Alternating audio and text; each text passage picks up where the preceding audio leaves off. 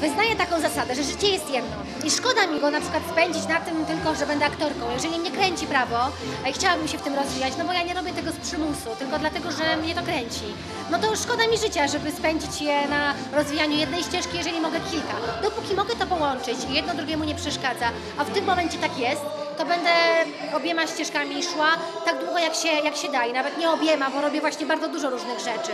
Bardzo mi się podoba ta różnorodność w moim życiu E, i mimo wszystko to jakoś się tam uzupełnia, bo jedno, e, umiejętności, które zdobywam w, przy okazji bycia prawnikiem, przydają mi się w aktorstwie i na odwrót. Bycie sportowcem też mnie uczy jakiejś tam dyscypliny, wytrwałości, no i daje mi w ogóle energię do tych wszystkich innych działalności, więc naprawdę wbrew pozorom to wszystko się uzupełnia. Moi przyjaciele i osoby w ogóle, które są blisko mnie, to przyznają, że ze mną, ciężko się umówić. Najczęściej robimy to tak, że trzeba się do mnie podłączyć.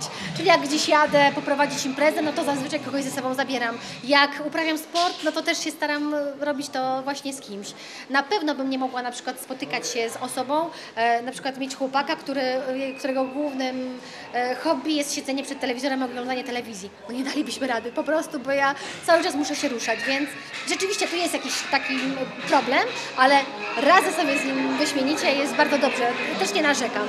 Choć czasami rzeczywiście, pomimo tego, że nigdzie nie wyjeżdżam daleko i tak dalej, to tęsknię za bliskimi mi osobami, bo no bo rzeczywiście na to obowiązków czasami przytłacza mnie.